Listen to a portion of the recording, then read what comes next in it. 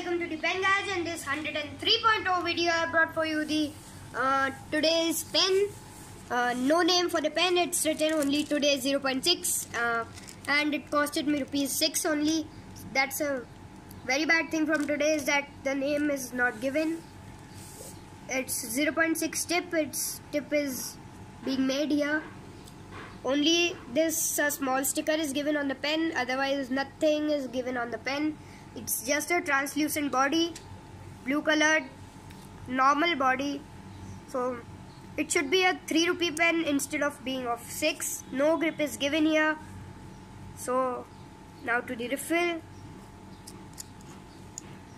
So this is a ball pen and the refill is a normal today's refill. It's written today's if you can see. Okay now to its testing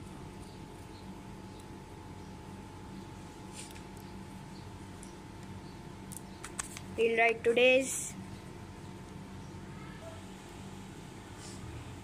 So we have written 0.6 so so it's working like a 3 rupee pen only so that's all from my this video. Stay tuned for the next ones